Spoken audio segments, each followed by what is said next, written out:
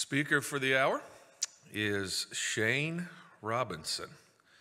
Shane is the preacher for the Chickamauga Church of Christ, Chickamauga, Georgia, where he is doing a good work.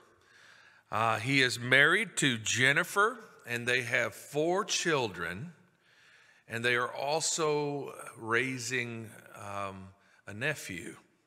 So he's got five kids that he is uh, raising up here, of course, to love God, to love others. And Shane is, in fact, a graduate of the East Tennessee School of Preaching back in 2006. Um, I got to call him to invite him here to speak. I really appreciate Shane. Uh, one of the things, one of the aspects about Shane that I appreciate is he realizes that we live in a we live in a pretty visual world. And so a lot of the graphics and the things that he would he often does in connection with his sermons and planning his sermons are always top notch and uh, and the material he produces always just looks very good and professional. I really appreciate Shane, and I know you'll appreciate his message this morning as he speaks to us on a, a wonderful passage verse, John 14, 6, where Jesus says, I am the way, the truth, and the life.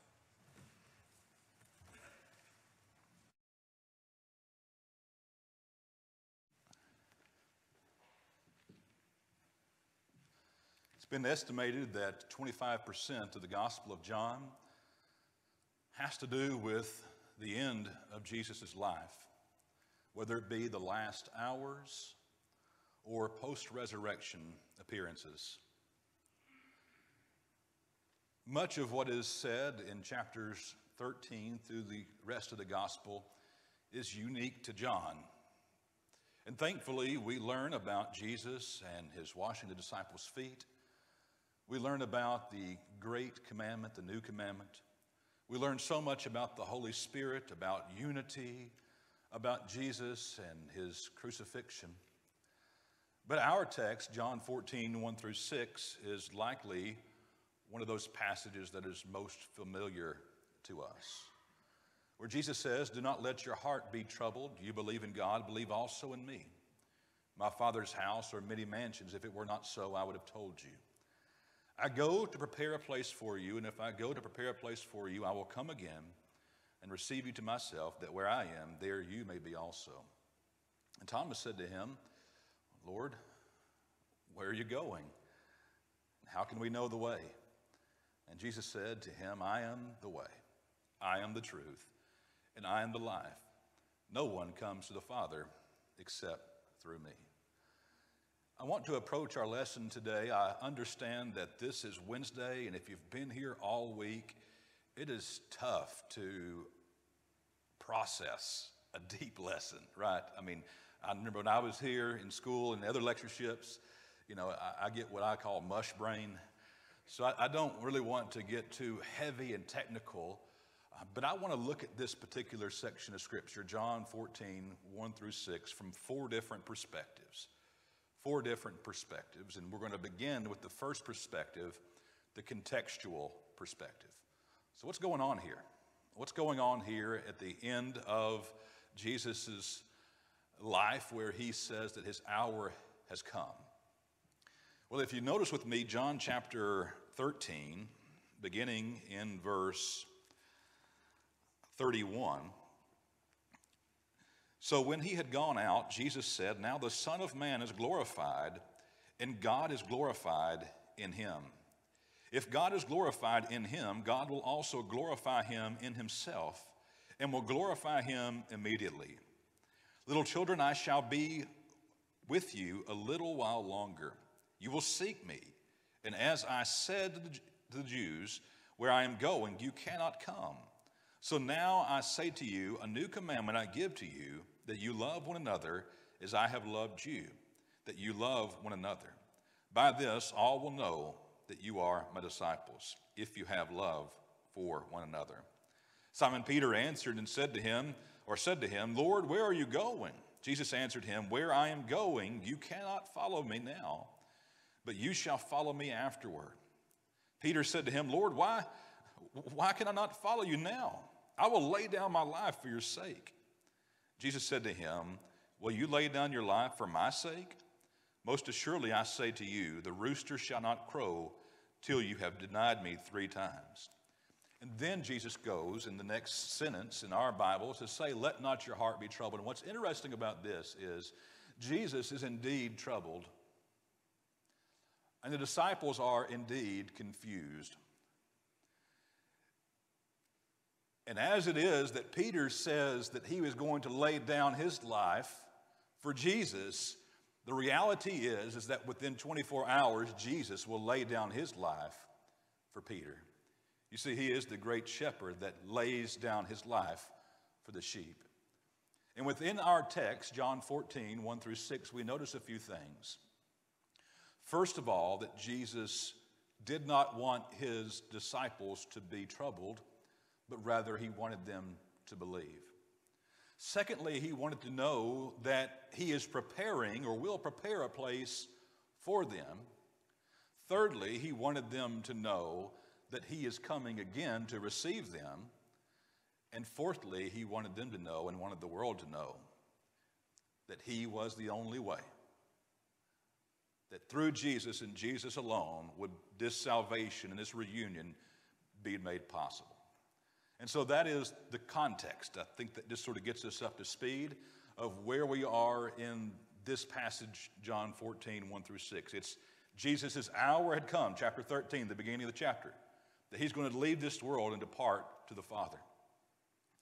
Secondly, I want to talk to you today about, I'm going to use a big word. Um, the second perspective is the soteriological perspective. Uh, the, the, Greek word, uh, soter, in the family of, or the root of that, has to do with being saved or delivered. And so in this passage, Jesus says, I go to prepare a place for you. What does that mean? What does it mean that Jesus said, I'm going to prepare a place for you? I don't, maybe sometimes people think that Jesus is in heaven. You know, he is the uh, foreman or the supervisor of the Golden Streets uh, crew, that, that he's there and, you know, they are, are laying those streets of gold and he's just been preparing for for 2,000 years. I don't believe that's what Jesus is talking about. You see, it took Jesus, God, the Spirit, all involved in that creative process, six days to build the entire universe. Are we to think that it's taking Jesus 2,000 years to prepare a way? No, friends, the way has been prepared. And we can take advantage of that right now. To think about what Jesus said and what he did for us is nothing short of amazing. I go to prepare a place for you. Turn with me in your Bibles, or hold your place there in, in John. Turn your Bibles to Hebrews chapter 10. Hebrews chapter 10.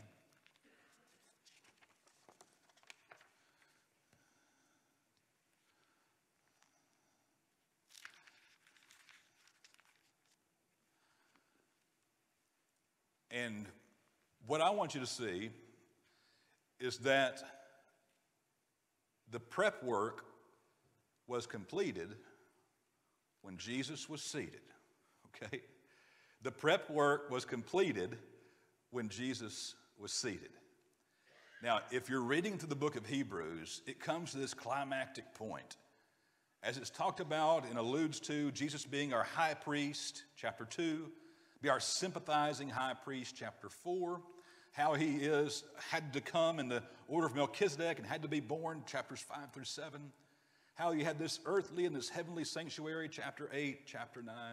And then chapter 10, it all just comes to, to a climactic ending in verse 19. Therefore, brethren, having boldness to enter the holiest by the blood of Jesus, by a new and living way which he consecrated for us through the veil that is his flesh. And having a high priest over the house of God, let us draw near with a true heart and full assurance of faith, having our hearts sprinkled from an evil conscience and our bodies washed with pure water. You see, it's through Jesus that we have direct access into the very throne of God. I don't know if we really appreciate that and understand that, in part due to our material world that we live in and, and the spiritual nature of God and His character and nature. But every time that we engage in worship, every time that we pray, we are going directly into heaven itself, where Jesus is now seated at the right hand of God. And that prep work for the entire world to have access. Remember when Jesus died on the cross? What happened? The veil in the temple between the holy and most holy place was torn in two. It was torn from the top to bottom, signifying that man could not have done this, but also signifying that our way to God was now made possible through the death of Jesus. And so Jesus died, Hebrews chapter 2 and verse 9, for every person. It's through that death that every person can have hope. So we've talked about the context, we've talked about it from the standpoint of salvation.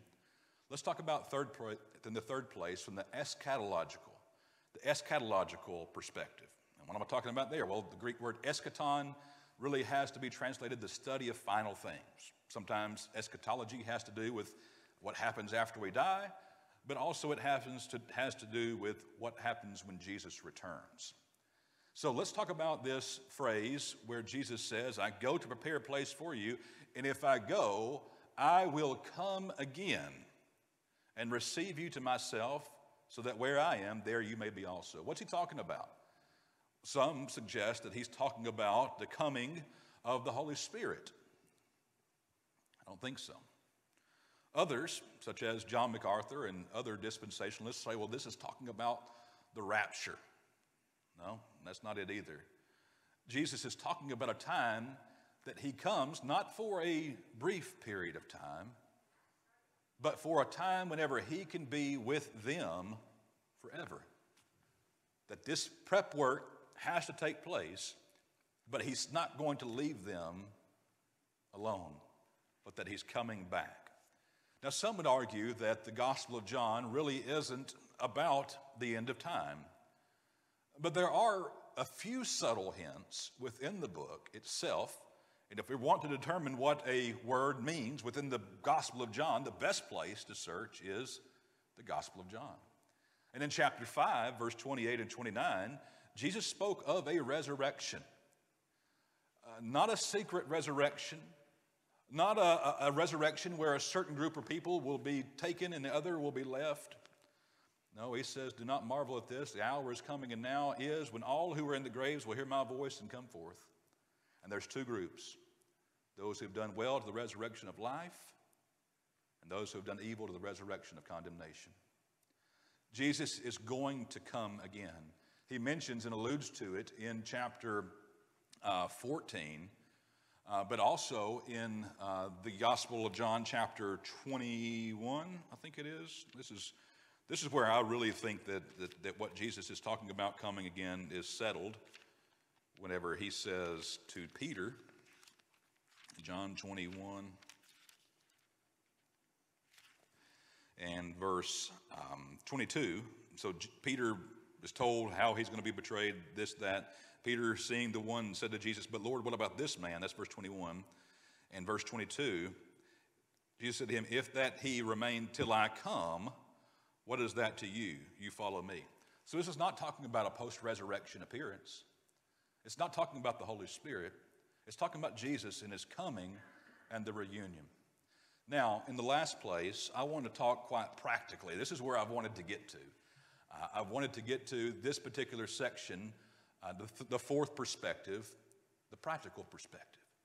Because there's so much here that we need to, to chew on and that we need to think about and um, that we need to truly appreciate. First of all, we have to tell others about Jesus. I, I know that's simple, But we have to tell others about Jesus. Why?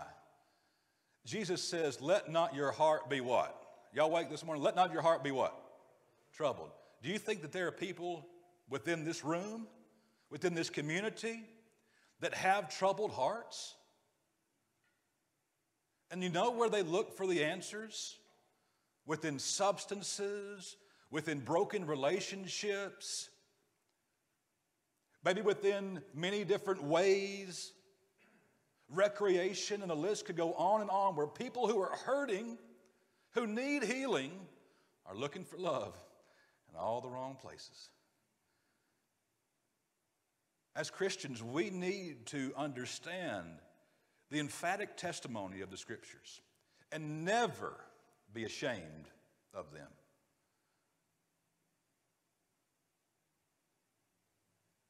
Nor is there salvation in any other.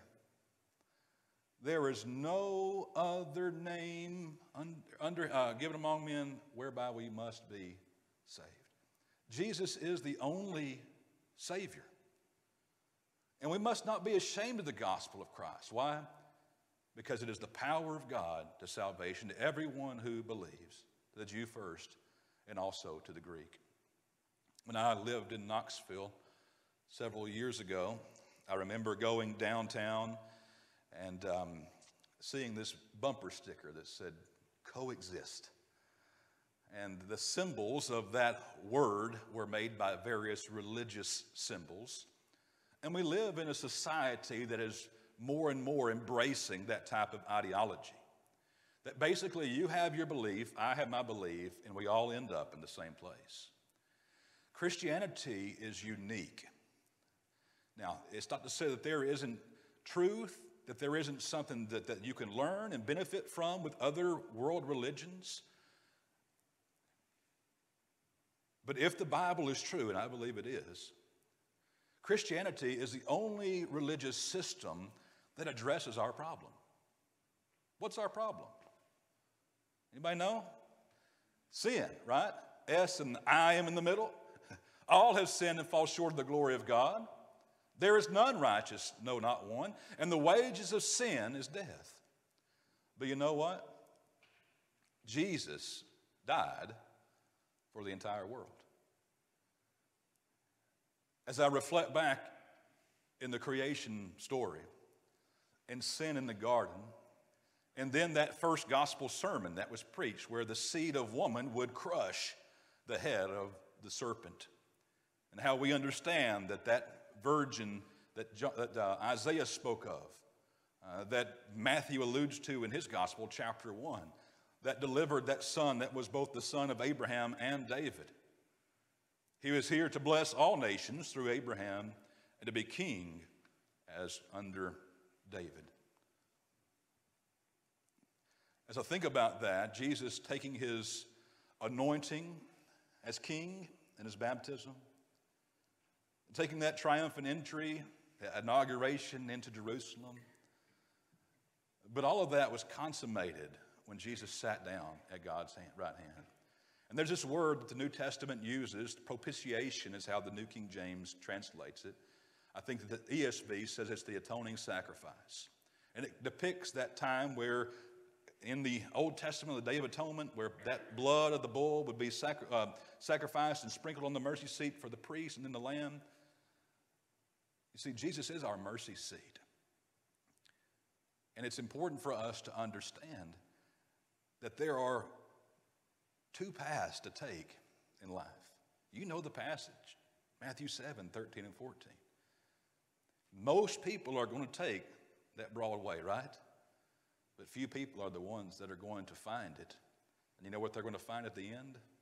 Life. Secondly, I want you to understand in the practical sense um, the purpose of life. What's your purpose? What's your purpose in life? The purpose of life is to live like Jesus so one day you will live with Jesus. Chew on that. Is that not what life is all about in a nutshell? To live like Jesus so that one day you will live with Jesus. We understand that living like Jesus is comprised of loving Him and loving Him is keeping His commandments. but it's also living like Him. When we think about the process of becoming a new creation in Christ, there is the rebirth process. We are to be reborn. Paul said in Colossians, uh, sorry, in Romans chapter 8, that there is the conform process. Our purpose in life is to be conformed to the image of Jesus, to be like Jesus, who is our example. And then there's also 2 Corinthians chapter 3, verse 18, the transformation that is to take place into his image, not of our own accord, but by the Lord. And so there is a yielding of our life in this process of faith to be like Jesus. But it's not of our own will and accord. It's not for our own purpose or endeavor, but it's for Him. My life in 2003 was quite interesting. Had a good paying job, had a nice vehicle,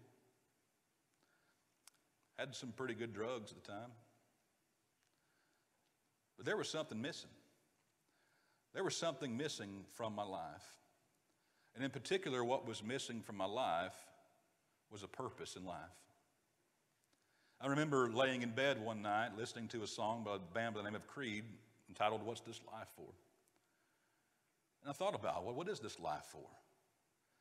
And I remembered my grandfather was a gospel preacher, and growing up, my parents never were on the same page a lot of times religiously, so we were basically people who only went on Mother's Day or Christmas or something like that. But I had enough knowledge of God and a great godly example of my grandparents that I knew that maybe I should give this God thing a try. And it wasn't too long after that that I was married, baptized the same day, April 10, 2013. It wasn't too long after that that I read a book by John Waddey called Preaching to Preachers About Preaching. And then I got the opportunity to preach, I guess, about four or five months after obeying the gospel. What a crazy thought that was. But I got excited about it. And I worked with this guy, and I'm from North Georgia, and people are kind of funny around them neck of the woods. but he said, he said, Shane, if you want to be a preacher, you, you better be called. You got to be called to be a preacher. I said, Well, finally, I said, Well, what's that mean? am, I, am I listening for God? He said, No. If you can't read the Bible without having a burning desire to share it with others, you're not called. I said, Well, I guess I can agree with that. Because every time I open my Bible and I read it, I want to share it with others. And I share that story for you to say that life has a purpose. As I drove up this morning, I listened to the Gospel of John, and I found it was interesting that trust and belief is repeated, life and everlasting life is repeated through this. And I think about this Jesus, the purpose of John's Gospel is that we may believe, but that believing you may have what? Y'all tell me the word. Life, everlasting life in his name. In John chapter 10, he is the chief shepherd that lays down his life for the sheep. But he says that I have come that you may have a, an abundant life. And sometimes we think about that abundant life as being something that is in the hereafter. But I'm here to tell you, uh, brethren, you can have that full and abundant life now. It's important for you to enjoy the blessings of God. You see, there's a passage in Colossians chapter 3 that it's always been interesting to me. It says that when Christ, who is our life, appears, there are so many different functional saviors out there that have all these promises to bring you joy, to bring you comfort, but they'll never satisfy. They'll end up in a place like that rich guy in Luke chapter 12 that says, you know, you know, I'm going to build some barns. I'm going to fill them up. And I'm going to have this day in my life that once I get all that prep work done, I'm going to kick my feet back. I'm going to eat, drink, and be merry. Jesus says, whoa, whoa, wait a minute. You're a fool. Why? Because this night your soul will be required of you, and then, well, whose will these things be? We got to tell other people about Jesus. And we have to understand that when it comes to Jesus, The purpose of this life, you've heard it said before heaven is a prepared place for a prepared people. But the purpose of life is to live like Jesus so that one day we will live with Jesus. And that's the third area that I wanted to share with you in the lesson's yours. You're not up here to kick me out, are you? Okay. It's not about when, and it's not about where, but it's about who. It's not about when, not about where, but it's about who. We talked about that big word, eschatology, final things. This has always been an area of debate. I think that one of the reasons is, is we haven't experienced it. You know, we can argue about what, what happens when someone dies. And I've sat there at the bedside of people who have taken their last breath, and I would assume that many of you here have as well. And it's maybe it's morbid of me, but the first thing that comes to my mind is, is well, now they know. now they know what life is going to be like on the other side. And so often it is, we get so caught up in the wind. Remember in 2012, that guy, Harold Camping, that said the end of time? You know, in 2020, I had to deal with this. You know, the, the end is near, the end is near. People get so caught up on the wind. I'm going to share something with you. This might be helpful. I stole this in a message that I heard several years ago by Alistair Begg. When it comes to end times discussion, there's an important factor.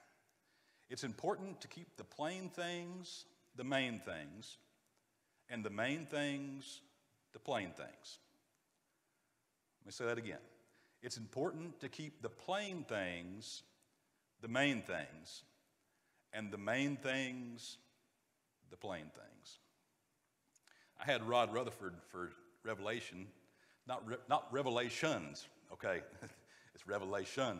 I had him in Revelation several years ago. I, I tell you, the first three chapters are gravy. and then chapter four, Revelation hits, and it's just like, whoa, what am I getting myself into? And oftentimes people go to Matthew 24, to Revelation, or to some uh, apocalyptic literature such as Ezekiel, and that's where they make their bread and butter passages. That's where they get this doctrine and how they get on these different things and say, well, here's the end is time, the, the, the end is near, this, that, and the other. Matthew 24 has some pretty main things. Beginning in verse 36 of the chapter, guess what? Nobody knows. Nobody knows, but there is something that we need to know. Watch, therefore, and be ready, for you do not know an hour that your Lord is coming. That's pretty plain to me. It's not about where. There has been debate in recent years concerning the end of time and what will take place. I know that there was a, uh, a, a friendly discussion, I think it was at Harding University a couple of years ago with Ralph Gilmore and Dan Chambers. I know both brothers. Uh, Dan, I met Dan here, as a matter of fact, whenever he was at Maryville, when I was here in Knoxville. Uh, his parents uh, go to a church, his dad's an elder, his brother's an elder of the church in Chattanooga, near where I preach, all salt of the earth people. And they had a brotherly discussion about the end of time and what their view is, whether or not it would be a renewed creation or whether or not it would be, as commonly we have, I guess, in the last um, seven decades, seven or eight decades, that we go to heaven. I'm not here to get into that debate, but I am here to, sh- to, to, share something with you that I think is helpful and important. Uh, well, I believe that we should have, be able to have brotherly discussions over things and interpretations and have that spirit of unity. But I want you to see something that I think is important. The point that I'm getting at is it's not when, it's not where, it's not even really how, but it's about who. In our text, John chapter 14, and if I go and prepare a place for you, I will come again and receive you to myself, that where I am, there you may be also. Where is that? It's where Jesus is.